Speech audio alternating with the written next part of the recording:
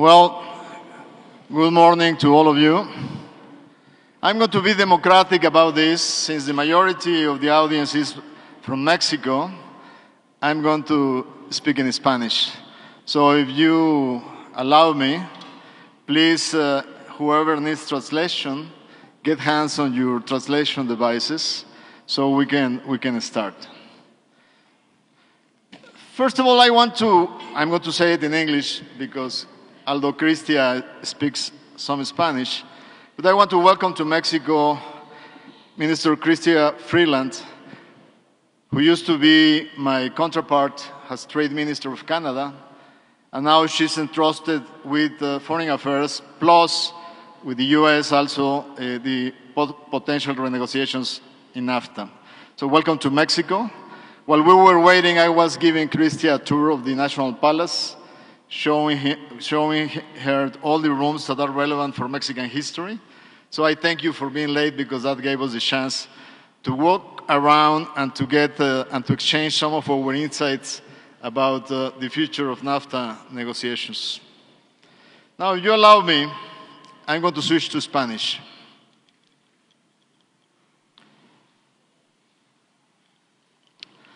Este es el quinto año consecutivo que me toca participar en esta llamado que hace el Consejo de las Américas, en esta ocasión ciudades de América Latina, aquí en la Ciudad de México. Para mí es muy satisfactorio porque desde el año pasado les compartía que rompí el récord de los últimos seis secretarios de Economía. Soy el único secretario en los últimos 12 años que puede decir que lleva casi cinco años en el puesto. Mis antecesores duraron en promedio dos años, seis de ellos. Ahora, lo interesante de este récord es que parecería ser que los dos últimos dos años iban a ser la oportunidad de cosechar todo el tiempo invertido en la estrategia no solo de política internacional comercial de México, sino también en la estrategia de política industrial y de mejora en el ambiente de competencia y de regulación. Habíamos, con las instrucciones del presidente, avanzado de manera rápida en poder restablecer la modernización del acuerdo con Europa. Hace apenas menos de un mes estuvo aquí Cecilia Mostrom y conjuntamente con ella pudimos establecer un programa de negociaciones que ya vamos en la cuarta ronda para intentar cerrar este año la modernización del acuerdo con Europa. Bajo instrucciones del presidente pudimos cerrar en agosto de 2014 la negociación de Alianza Pacífico y pudimos ya establecer la aprobación en el Senado, teniendo hoy libre comercio en el 92% del universo arancelario. Y como recordarán ustedes, justo con Cristian, pudimos eh, estar justamente en la firma en febrero de, en Auckland, eh, Nueva Zelanda, del Tratado del Pacífico, el TPP, cerrando así un proyecto que nos llevaba a una diversificación intensa de la política comercial de México. Al este con Europa, al sur con América Latina y al oeste con Asia, con quienes era urgente tener un marco creíble y estable en el proceso. Sin embargo, al norte habíamos previsto simple y sencillamente un programa muy a fondo con Canadá y Estados Unidos del poder mejorar los costos de transacción a través de una agenda que nos llevara a facilitar los procesos de integración productiva que veníamos desarrollando en los últimos 20 años. Sin embargo, claramente, en mayo, que fue la última vez que estuve aquí en el Council of the Americas, no tomamos en cuenta la posibilidad de que en la elección de noviembre pudiera haber un cambio radical hacia adelante. Ese cambio nos alcanzó y ese cambio hoy es una realidad. Y si iniciemos repasando un poco cómo nos cambia, al menos en el panorama comercial, la perspectiva, pues les vengo a compartir, me acabo de bajar ayer del avión, regresé de Vietnam y en la reunión de APEC las señales fueron las mismas que hemos escuchado en el G20 y que seguramente escucharemos en el G7. Hay un nuevo posicionamiento en materia de comercio global multilateral, donde hay un nuevo lenguaje por parte de nuestros vecinos al norte, los Estados Unidos, donde se comenta y se establece en los términos de declaratorias que siguen comprometidos con el multilateralismo, pero definiendo claramente un objetivo, que el comercio debe ser justo, algo que antes escuchábamos de otro tipo de países, y en esa justicia básicamente el bottom line del mensaje es que Estados Unidos está convencido que tiene que reducir sus déficits comerciales con el mundo.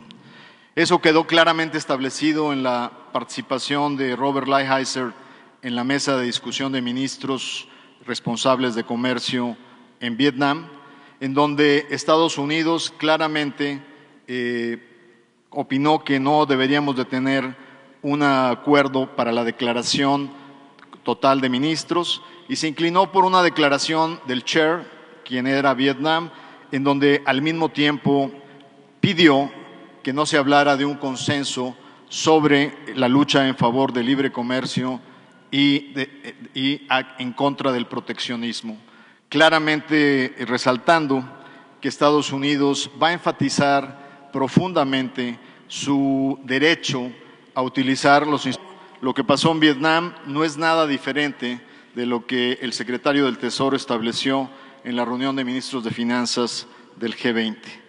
Hacia adelante en multilateralismo, el siguiente reto será en diciembre en Buenos Aires, donde los ministros responsables de comercio nos reuniremos para dialogar sobre el futuro de la Organización Mundial del Comercio el avance o multilaterales. La única excepción seguramente será NAFTA, dada la naturaleza trilateral del proyecto y dado que en su marco en sí mismo está construido un diálogo y una negociación trilateral. Esto incluso frente al asombro de que sin duda hay acuerdos plurilaterales que son del interés de la comunidad de negocios de Estados Unidos. TISA es un gran ejemplo de ello, el acuerdo eh, de, la OMC plurilateral, lo mismo que ocurre en el caso de los bienes ambientales, lo mismo que seguramente ocurrirá en cualquier negociación que tenga que ver con la economía digital y la liberalización de servicios. En ese sentido, es clarísimo que va a haber una diferencia entre el interés esencial en la acción plurilateral paralela a los acuerdos de Doha y lo que sería un poco la visión estratégica de eh, la comunidad empresarial de los Estados Unidos.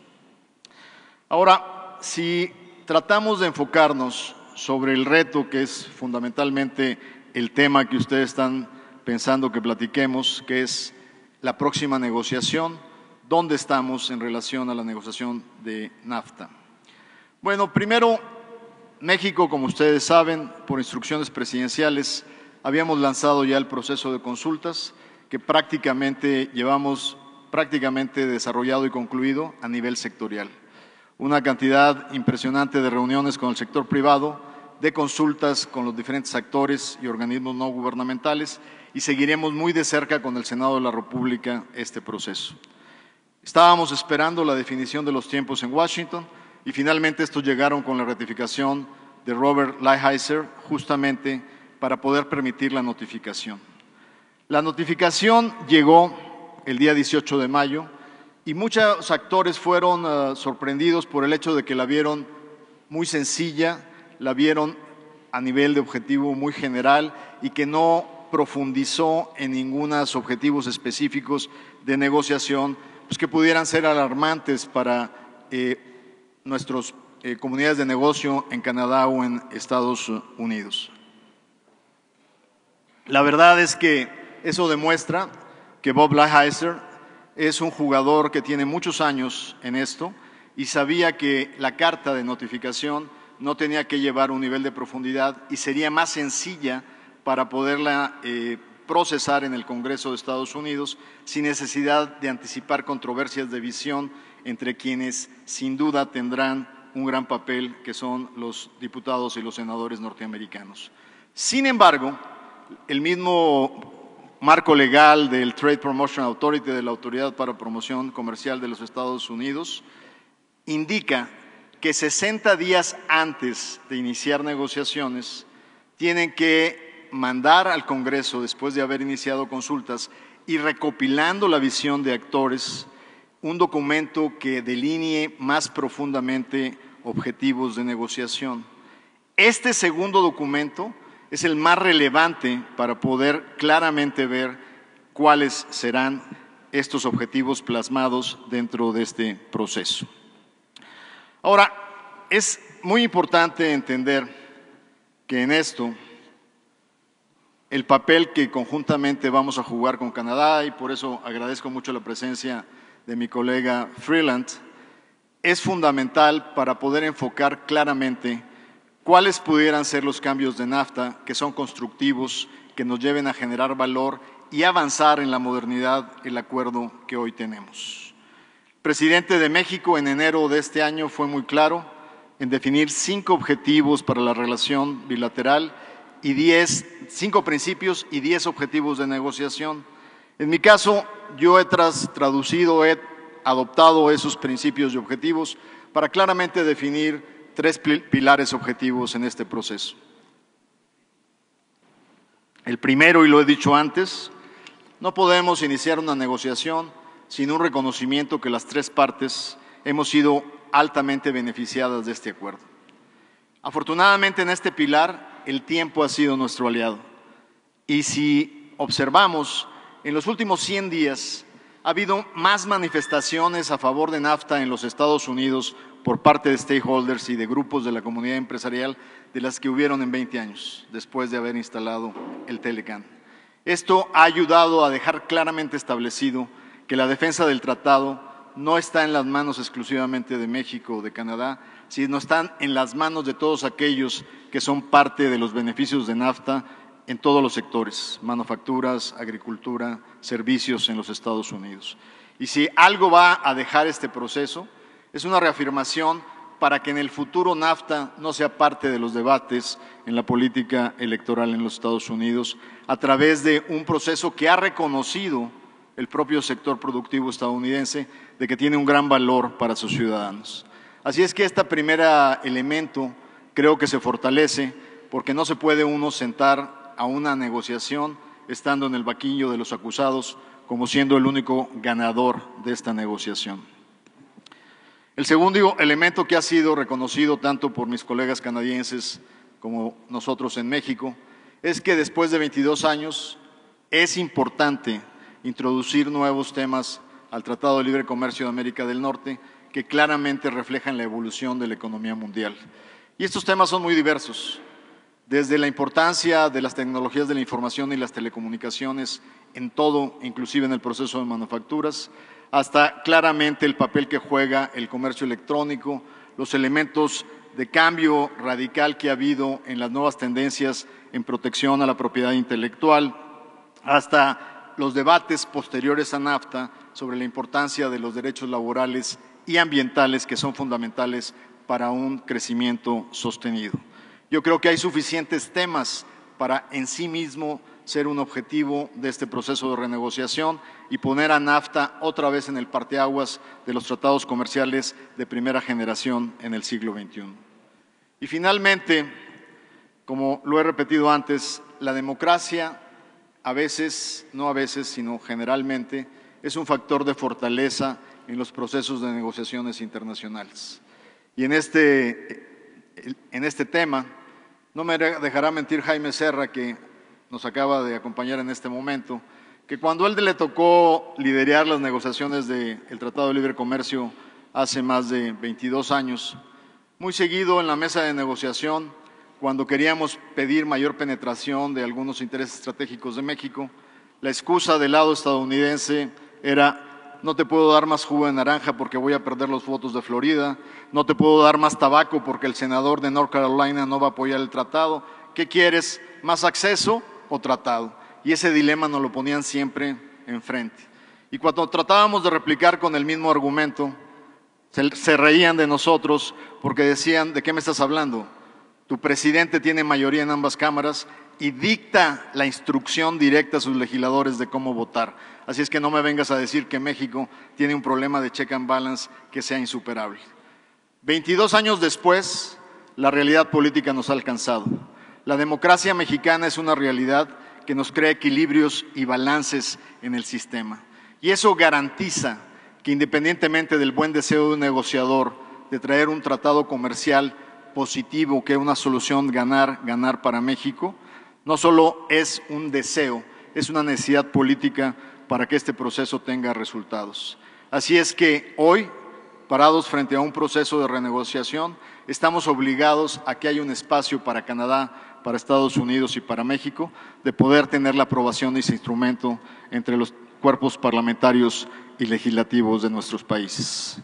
Yo creo que hacia adelante es claro que tenemos que prepararnos para iniciar una negociación que seguramente estará arrancando a fines de agosto, mediados fines de agosto, y que sea un proceso que tome en cuenta, sin duda, las restricciones del ambiente político que imperan en los tres países.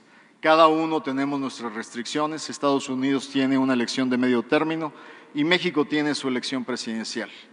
Sin duda, lo mejor que podemos hacer para inversionistas y para las entes económicas es mandar señales claras y de certidumbre. ¿Qué significaría eso? Significaría la capacidad que tengamos los tres países de que en el momento que lancemos negociaciones podamos definir claramente los objetivos de negociación. Esto es fundamental para poder tener un proceso de negociación eficiente.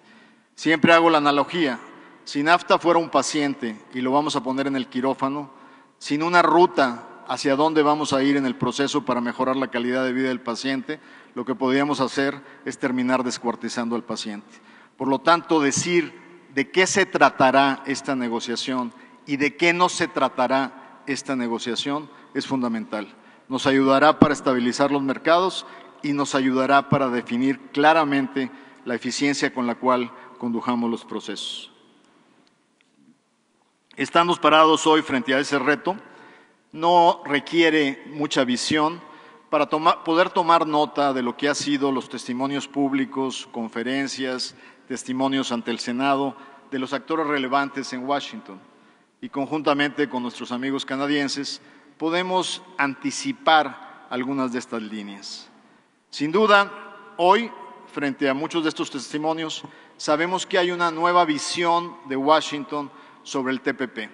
Y ahora la línea discursiva dice que TPP tiene algunas cosas buenas que había que rescatar. ¿Qué nos quiere decir esto? Que el esfuerzo indirecto que se hizo en TPP para modernizar NAFTA atrae el interés de nuestros amigos en Washington. Pero es muy importante subrayar que los países socios de TPP estuvimos dispuestos a hacer un paquete integral y hacer concesiones sujetos a beneficios de la ampliación de un mercado asiático y de una mayor profundización en el acceso a Japón. Al retirarse Estados Unidos del TPP, lo que refleja el TPP en materia de disciplinas son concesiones que pierden su balance y que es necesario volver a balancear en la negociación de NAFTA a partir de agosto. En resumen, nadie debe de tomar por seguro que lo que está en TPP está en la bolsa habría que analizar el paquete conjunto de nuestra discusión y nuestra negociación. En segundo lugar, es clarísimo que también observamos tendencias en esta discusión. Hemos escuchado repetidamente la posibilidad de fortalecer las cadenas de integración en América del Norte, de a través de las reglas de origen fortalecer la parte del valor agregado generado entre Canadá, México y Estados Unidos. México no se opone a esa visión siempre y cuando lo que hagamos tenga lógica en integración de cadenas productivas. Les doy ejemplos muy claros en donde la racionalidad y el sentido común debería prevalecer. El caso de electrónicos. Para hacer un televisor, prácticamente un producto muy importante de exportación de México, Solo el 32% del contenido es hecho en América del Norte, el 68% viene de Asia. Si de repente quisiéramos ser y lógicamente ambiciosos y exigirle a la industria eléctrica que integre un televisor a nivel del 90% regionalmente, seguramente las empresas como LG y Samsung les va a resultar más barato exportar completo el televisor y pagar las tarifas que hoy enfrenta que sujetarse a los costos de relocalización de plantas que no necesariamente tendrán los recursos o los talentos humanos disponibles en el corto plazo. Así es que cualquier esfuerzo en fortalecimiento de reglas es bienvenido siempre y cuando no sea un disparo en el pie y terminemos perdiendo todos los que estamos involucrados. Lo mismo hemos escuchado en función de otros objetivos, como lo, que, como lo que ha sido un discurso muy claro para reducir el déficit comercial de Estados Unidos a nivel global. Claramente hay un gran debate, y no es debate, es sentido común, donde la mayor parte de los economistas coinciden que la variable a analizar la fortaleza de una economía no es el déficit comercial, en dado caso, habría que analizar la balanza de cuenta corriente, que incluye también servicios, pero sobre todo hay contrabalances fundamentales macroeconómicos que garantizan la fortaleza de un país frente a su situación comercial. Pero asumiendo que este debate va a ser con tintes mercantilistas, tendríamos que prepararnos también para una visión que no solo está enfocada en el déficit global, aún peor, en déficit país-país que no toma en cuenta que hoy no negociamos bienes finales, sino insumos intermedios que forman parte de las cadenas globales de valor. Y en ese sentido, tenemos que ser muy cuidadosos de cómo establecer objetivos de lo que llaman trade relocation. Lo único que México ha sentado y ha dejado claro, que cualquier esfuerzo para mejorar las condiciones de balanza entre los tres países tiene que estar fundamentada en que debe de ser a través de expansión de comercio, no a través de reducción de comercio. Una y otra vez hemos dejado claro que no aceptaríamos ni restablecimiento de aranceles ni establecimiento de cuotas que restringen los flujos comerciales. Esto fue en la última conferencia en Washington del Consejo de las Américas, estuvo Wilbur Ross, y me gustó que lo escuché decir efectivamente algo similar pero entendiendo que su posición también es de negociación, terminó la frase diciendo, al menos que estemos obligados, porque Canadá y México no estén de acuerdo, a, poner tarifas y aranceles. Entonces, claro que lo tiene que poner como una amenaza dentro de la negociación, cosa que también pues, tiene su respectiva respuesta en Canadá y en México. Pero finalmente, yo concluiría diciéndoles, soy positivo, soy bastante positivo, no, no, no utilizo la palabra optimismo, pero sí positivo de que podemos llegar a una buena negociación, estableciendo una pista de aterrizaje que nos permita poder conservar la generación de valor en América del Norte, profundizar la competitividad y evitar acciones que destruyan valor y distorsionen lo que juntos hemos creado en los últimos 20 años. Estaremos trabajando muy de cerca con el sector privado, con los sindicatos mexicanos y con los interlocutores, para conforme avancemos en este proceso podamos definir una sola posición de México en esta negociación. Con esto les agradezco muchísimo su atención esta mañana y estoy a sus órdenes para cualquier pregunta.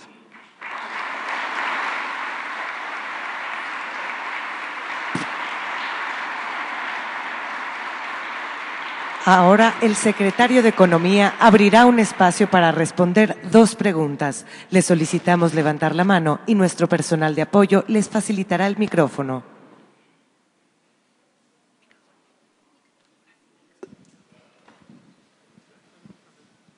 Bueno, buenos días, señor secretario. Eh, la primera pregunta, tenemos una, un déficit. ¿Se podría decirnos de quién es usted? Mi nombre es Alfredo González Sánchez, eh, soy consultor empresarial y eh, trabajo en las universidades, trabajo en tres universidades también. Eh, le quiero comentar, tenemos un, déficit en los Estados Unidos de 60 billones de dólares. Ellos pueden o vendernos más o nosotros vender menos. Evidentemente eso, eso no es ganar-ganar. Eh, otro concepto es que muchas de las empresas que están representadas en, este, eh, en esta negociación comercial, pues son evidentemente negociaciones entre compañías donde la mayor parte de la rentabilidad se queda del otro lado, en los Estados Unidos. Y eh, hemos visto que ha habido riesgos en el tipo de cambio y esa es la principal pregunta. ¿Qué tipo de riesgos podríamos enfrentar en el, próximo eh, plazo cuando se genere esta negociación del Tratado de Libre Comercio? Gracias. Bueno, la primera parte de tu observación, de alguna manera creo que lo dije claramente. México no aceptará ningún esfuerzo para balanceo de déficits comerciales que no, que no esté basado en la expansión del comercio. O sea, la restricción de nuestras exportaciones o la imposición de cuotas o aranceles está totalmente fuera de cualquier consideración. Eh, el segundo tema, en términos del déficit, básicamente lo que eh, afirmaba es que buena parte de la relación comercial está en insumos intermedios. Cuando quitamos la parte agrícola y nos enfocamos a la parte de manufacturas, la mayor parte de esto está en insumos intermedios.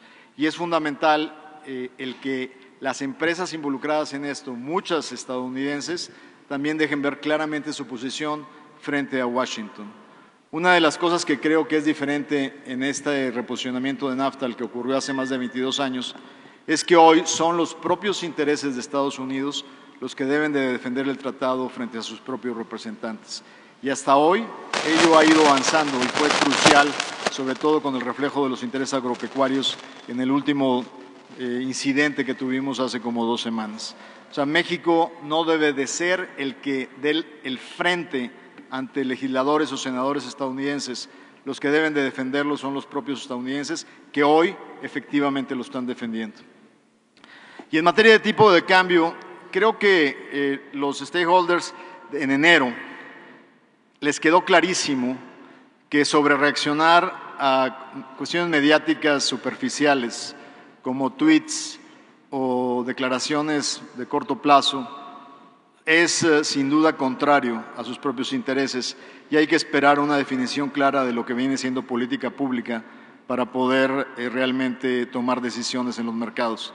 Y de alguna manera una combinación de cosas han permitido que las cosas se mejoren en el año y que lleguemos al fin de un primer eh, cuatrimestre donde sorpresivamente ahora las, las, proyecciones de crecimiento se están revisando a la alta. Tenemos resultados mejor que los esperados en este cuatrimestre y sin duda hacia adelante va a ser fundamental. El inicio de esta negociación, quiero decirles claramente, Así como digo que creo que hay una muy buena posibilidad de aterrizarla correctamente, también les digo que esto va a ser una montaña rusa. Habrá días malos, habrá días buenos y habrá días peores y mejores. Lo importante es que los actores económicos estén sin duda viendo elementos fundamentales más de fondo en lo que está pasando. Si los mercados sobrereaccionan, a estrategias de negociación, generalmente se estarán equivocando. En el caso de México, y seguramente la ministra Freeland lo compartirá con ustedes en la siguiente exposición junto con el canciller, le diría que lo dejó claramente establecido esta primera parte de la experiencia hasta abril. Eh, los que movimos el tipo de cambio fuimos los mexicanos. O sea, de alguna manera eh, hubo sobrereacciones al arranque del proceso que después se fueron modificando. Y finalmente, creo que a Washington también le quedó claro que cada vez que hay una tweet, el objetivo de ellos de vender más o exportar más se limita y es contraproducente, como lo vimos con el desempeño de las exportaciones mexicanas en el primer trimestre. Gracias.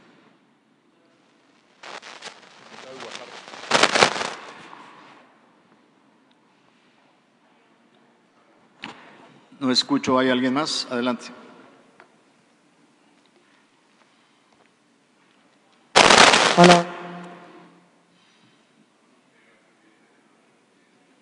Armando, Ortega, presidente de la Cancham.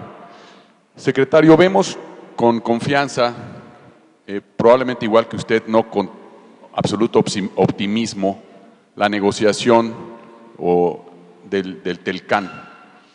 Pero nos parece muy sano que México esté impulsando un proceso de sustitución de importaciones ¿Qué nos puede platicar al respecto? Porque me parece que eso fortalecería mucho la posición negociadora de México, por ejemplo, lo que se está haciendo con algunos socios del sur del continente.